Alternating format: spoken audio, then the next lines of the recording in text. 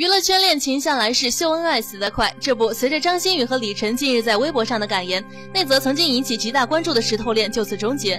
当事人一方李晨日前现身北京首都机场，情绪低落，神情盎然。巧合的是，几乎与此同时，张馨予发声明称，因无法再承载李晨对她的好，与其分手，自己也给不了对方婚姻。张馨予表示，自己的事业是靠努力打拼而来，而非借助跳板。然而，张馨予的这番自白仍未停止公众一边倒的指责。近日更有消息称，和张馨予相恋的这一年，李晨可谓是顶住了很大的压力。二人交往时，李晨曾豪掷五百万替女方从原经纪公司赎身，并计划为她成立工作室。可惜甜蜜算盘打得好，最后人却跑了。对此，张馨予在微博上写道：“可以不要再编故事了吗？出五百万赎身做工作室，又是哪个知情人说的了？可以放过我了吗？”